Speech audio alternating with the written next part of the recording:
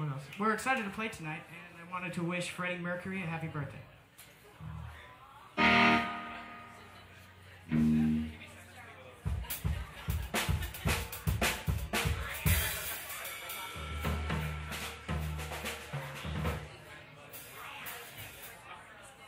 a cheater because we have a lot of new songs today, and it's hard to memorize all those lyrics, so I got I got them, I got them cheated right here.